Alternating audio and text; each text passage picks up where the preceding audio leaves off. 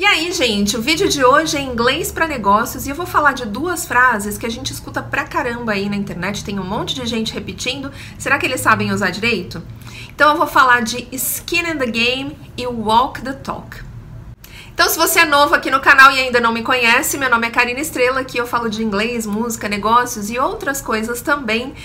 Toda semana tem vídeo novo e de vez em quando tem uns shorts aqui com dicas rápidas. Se você ainda não é inscrito no canal, se inscreve aqui e clica no sininho para não perder nenhum vídeo. A primeira é Skin in the Game. Skin é pele. Skin in the Game aqui eu vou traduzir como a pele em jogo ou a pele no jogo. Mas a gente tem uma expressão em português que tem a mesma ideia, ela é muito parecida, que é dar a cara a tapa. Então, o que, que essa expressão quer dizer? Você de fato acredita naquilo que você faz, nas suas ideias, na sua empresa, no seu produto.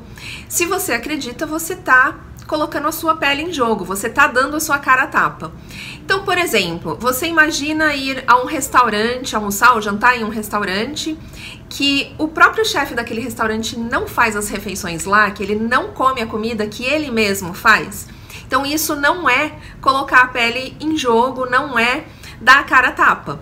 Então, isso acontece muito nos negócios. Muita gente está usando o skin in the game, por quê? Porque se você está de fato vendendo um produto, vendendo um serviço, você tem que acreditar tanto que você consome aquilo.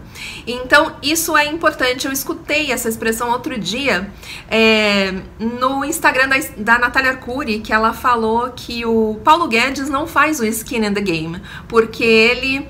É, ele é o ministro da economia, mas ele está colocando o dinheiro dele fora do país. Então isso não é skin in the game. O skin in the game é você acreditar tanto no que você faz que você investe no que você faz, mesmo sendo um produto algo menor com menor valor financeiro ou enfim, uma estratégia financeira para um país. E a outra é walk the talk. Walk é andar, talk falar. Essa daqui não funciona muito bem traduzir literalmente, mas é você fazer o que você fala. Então, é, é, tá um pouco relacionada com a outra também. A ideia é muito parecida, né? Mas aqui é simplesmente não ser hipócrita. Você tá falando alguma coisa, você faz uma coisa completamente diferente. A gente vê muito isso por aí também muito nos negócios, mas em outras áreas também. Então, walk the talk é não é fazer aquilo que você fala tá? Eu vou dar dois exemplos agora, um com cada uma das expressões. Então, o primeiro exemplo que eu tenho aqui é o seguinte: Our clients trust us because we put our skin in the game. Então, nossos clientes confiam em nós porque nós colocamos nossa própria pele em jogo. Então, é isso aí. O cliente vai confiar muito mais se você consumir ou se você fizer aquilo que você diz que é bom, né? E o segundo é leaders must walk the talk. Então, líderes têm que fazer o que falam.